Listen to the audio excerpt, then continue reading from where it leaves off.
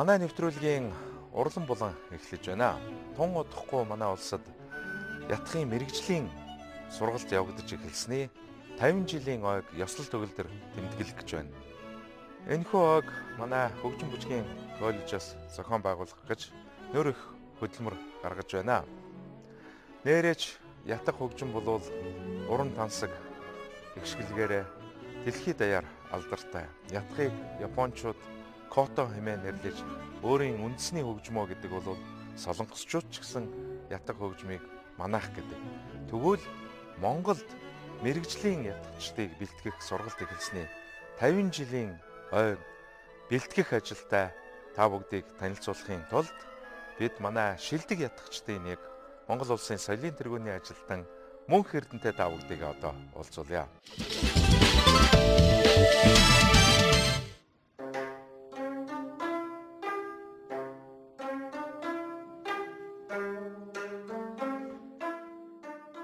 Нэвтрүүлгийн урлан буланг Монгол улсад ятгах хөгжимчдийг танхимын сургалтаар бэлтгэж эхэлсний 50 жилийн ойд зориулж байна. Ингэхдээ бүрт хамтлагийн гишүүн Монгол улсын соёлын тэргүүний ажилтан хөгжимчин Мөнх Эрдэнэ урд нь эрхэм үзэгчтэй урьж байна. Түүний яриа сургалтын арга барилаар дамжуулан ятг химээх үндэсний ил яруу их шиглэнд хөгжмийн тухай Монгол ятгын гайхамшиг түүний хөгжил ятгаар хөгжимдөж их урлагт амьдралаа зориулсан нэрт уран бүтээлчдийн тухай өгүүлж байна.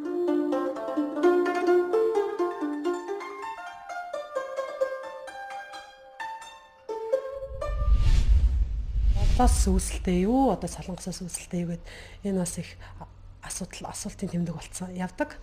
А ер нь бол яг үнд сугсаагаа хөх юм бол Монгол хөгжим маань бол төрийн хаадын өргөнд залардаг байсан. Тэр төрийн ятг байсан. Ятг хөгжим байсан. Ийм түүхтэй. А тэгээд одоо түүхийн үйл явцад сар мөгжиж үгүй болоод одоо Аз твд тархсан. Одоо сүүлийн үед бол дорн дахин дорн дахин буюу Азад бол энэ ятг хөгжим нэлийн хүчтэй дэлгэрч байгаа.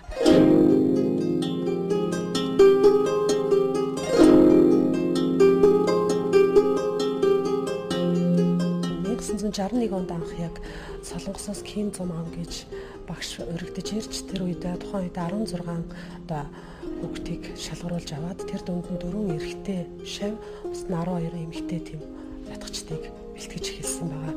Энд одоо хугацаанд бол манай Магнайс сүрэн гэж бас гарамгай сайн ятгын багш байлаа. Аа мөн бүтэд багшигаа дурдмаар байна.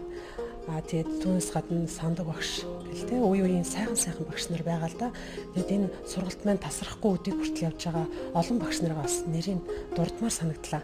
Энд бол одоо зундын наран туяа гэж бас миний яг мэрэгжлийн гайхамшигтай сайхан багш байлаа. Бэ наран туяа гэж сайд байсан. Аа мөн цолон багш байна. Одоо одоо хүртэл ажиллаж байгаа одоо отхон туяа багшигаа бас хүмүүс мэдж байгаа. Ингээл энэ үе үеийнхаа сайхан багш нарыг дурдахад сайхан байна. Энэ хүмүүсийн үр ачаар өнөөдрийн Монголын ятгын одоо хөгжил маань нэлээд өндөр шатанд дэвшиж гарч ирч чадсан.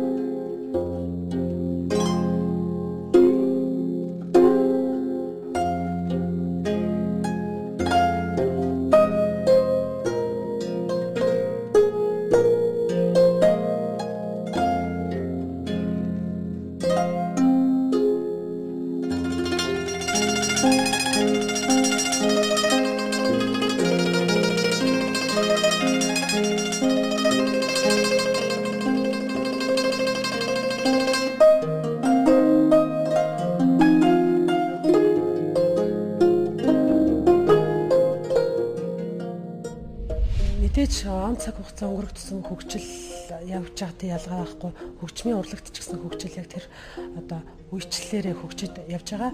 А 50 жилийн өмнөх асуудал гэх юм бол яг гэр сургалтаар тийм ээ бид нэр одоо нэгнээсээ сонсч дагаж тоглодог ийм сургалт явагдчихсан бол 61 оноос яг мэрэгжлийн сургалтын үндсэн суурь тавигдсан. А түүнээс өдийг хүртэл бол одоо яг 90-ад оноос хойш гэх юм бол сүүлийн үед бол маш эрчимтэй хөгжиж байгаа. Энэ учир шалтгаан гэх юм бол сүүлийн үед одоо энэ 21 утастай ятг орж ирснээрээ хөгжимчдийн маань тоглох ур чадварыг одоо дэвшиж хөгжиж тэр дээрээс бас хөгжмийн зохиолчдын маань ур ухаан энд гарамгай сайн гарч ирснээрээ энийг цогцоор нь хөгжүүлж чадчихаа гэж мэрэгжлийн хүний хувьд бол би боддог юм аа 80-аад онд гэхэд одоо хүн болгон байгаа тухайн үедээ жинхэнэ ятгын дөрүүлтэй дуучид төрж гарч ирсэн те хүн болгон байгаа үлзий орших, түмэн дэмбэрэл, адар сүрүүгай гэд гайхамшигтай сайхан дуучдыг төрүүлж ирсэн. Тухайн үед бол ятг маань яг ингээд одоо ансамблийн хэмжээнд тийм оркестрт бол тийм үүрэг оройлыг гүйцэтгэжсэн бол 90-ад оноос хойш гоцлооч гоцлооч гэж ямар одоо байх ёстой вэ гэдгийг бэлтгэж харуулж чадж байгаа сүүлийн үед бол ятг маань нарийн хуртай одоо өсөлтгүйц хэмжээнд тийм хөгжлийн төвшөнд явж байгаа гэж боддог.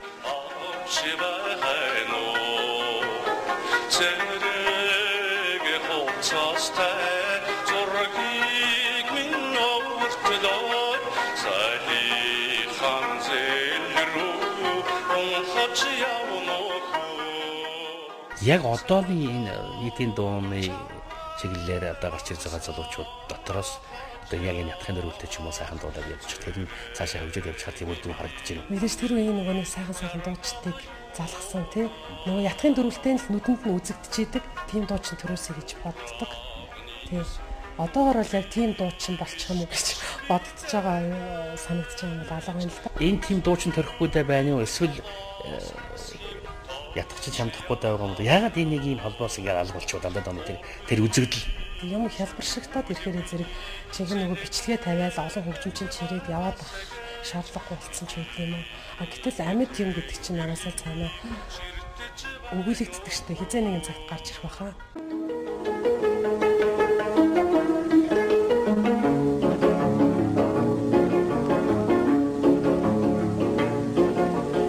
Үсгийн дээд жаргал гэмэдөө жаргалын дээдээ ажил байна хөө жаргалын дээдээ ажил бидэнтэй зүлт нөхөдмийн хамтвана 95 онт юм байна. Одоо алдар дуучин нар гонцдгааг хүн мэдж байгаа. Тэгээд энэ хүний ачаар би одоо яг тэр үед Японд зохион байгуулагдчихсан 5 орноос оролцсон ятгын тэм том фестивальд оролцож Тэр үед бол Вьетнам, Солонгос, Япон, Хятад, Монгол гэд те би Монголоо төлөөлж оролцож ирсэн. Энэ арга хэмжээ бол маш өргөн цар хүрээтэй болж исэн.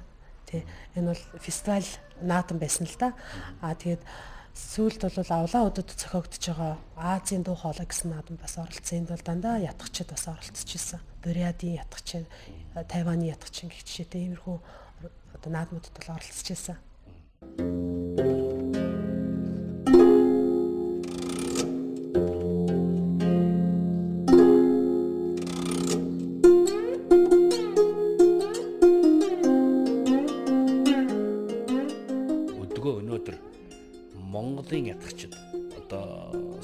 ч юм уу бусад ятах хөгжсөн хөгжим хөгжсөн орнуудын хөгжимчдийн зиндаанд хаахан явна. Өөр чинь бас Монголын цэгийн төрийн ажилтан цолтой Европод ялангуяа гадаадын улс орнууд ятах хөгжмөө өргөн гэхээр одоо сурталчилж түгээж чадсан хөгжимчдийн нэг гэж боддог. Яг энэ үүднээсээ ярил. 96 оноос хойш Европт аялын тоглолтоор явж байгаа энэ үйл явцад бол олон орны хөгжимчдтэй уулзаж танилцаж тэднэрээс санал солилцоох тий тэдний тоглож байгаа арга барилыг хараад бид бол бас хоцрогтойгоо явсан байна гэдгээр бахархаж ирсэн. Энд бол одоо энэ 21 утастай ятгыг оруулж ирсэн гэд яагаад яриад байгаа гэхээр энэ хөгжмөн дээр хумсаар одоо хиймэл хумс хийж тоглох арга барилыг нэвтрүүлж орж ирсэн тий. Манайх бол яг үндсэн суур арга барил гэх юм бол өндгөөрөө тоглодог, няслах тийм няслаж тоглодог юм өргөц хөгжим шүү дээ. Тэгээ энэ хөгжмийг хиймэл хумс хийж тоглох энэ хоёр арга барилыг бол ерөөсөө хослуулан одоо өндөр түвшинд мэрэгшиж чадсан.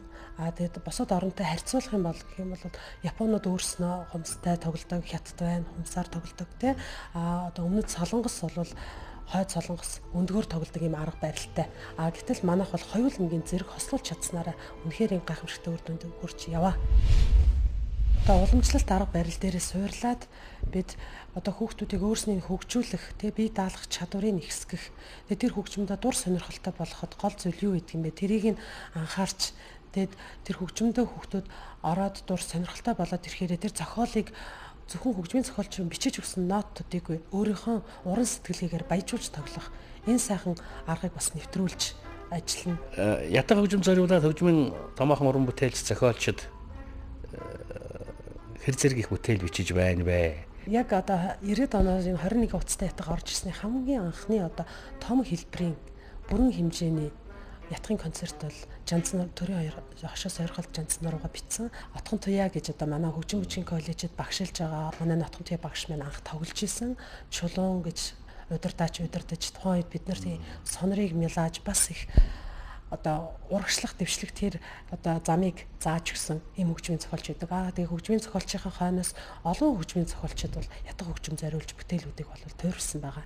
Түүний дараа чин зориг төрийн саярхалт хөгжмийн зохиолч бичсэн. Аа мөн шаруугай төрийн саярхалт мөнх болд залуу хөгжмийн зохиолч Алтан гэрэл мөнх ертөнц гэдэг ерөөсөө ятг хөгжмийн сүүлийн үед бол хөгжмийн зохиолчдын анхаарлын төвд очижчихсан юм байна үнэхээр сонирхлын татж байгаа юм байна. Тэрэнд бас хөгжимчт маань их сайжирч байгаа юм байна гэдэг юм ойлголтыг бол олж хараад бахархалтай явдаг аа. Жанцнаар угаа ятгах симфониар хөгжим зориулсан концертыг Украины Запорожье симфони оркестр, мөн Германы Баден-Баден Нийт симфони оркестр мөн Штутгарт, Янагийн симфони оркеструудаа бүрэн хэмжээгээр нь нэг ч нот хасалгүйгээр тентхийн гайхамшигтай мундаг тэ оркеструудтай ингэж хамтарч тоглож явсандаа би бас хөгжимчөөний үед их бахархаж явдаг. Тэгээ энэ зохиол маань тоглогдож байхад тэнд үзчихсэн мэрэгчлийн одоо хөгжин судлаач, шүүмжлэгч, доктор, профессорууд бол маш өндөр үнэлэмжийг өгчээсэн. Яг энэс уламжлаад ятах хөгжмийнхээ ойрын болоод хэтийн ирээдүг та хөгжимчийн хүний хувьд за магадгүй бас хөгжим судлаач гэж хэлж болно юу гэж бодож тасууж байна вэ? Над их гэрэлтэй гэгээтэй сайхан зам харагддаг. Одооны хүүхдүүд бас бидний тухайн үед сурч ирсэн шиг тийм одоо YouTube-ийг ч юм уу үзэж харах мэдих мэдээллийн хувьд бол бид нар чи харьцангуй өөр орчинд байсан шүү дээ. Одооны тийм хомсдоохон байсан. Одооны хүүхдүүд бол юу л үзэж харж юуг л хий гэвэл тэр хүсэл сонирхлын дагуу бүх зүйл нээлттэй болцсон. Энэ цагт бол улам л хөгжнө гэхээс биш доошлно гэж бол байхгүй.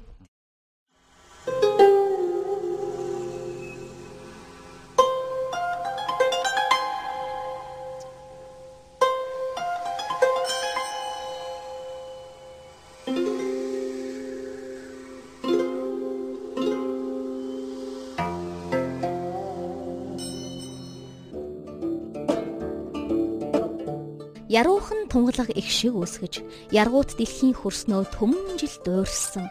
Ярагтай амьдралын утга учирыг ятхан ятхан ухааруулад ч байх шиг. Найргийн мөрөөр урлан булангаа жаргааж байна.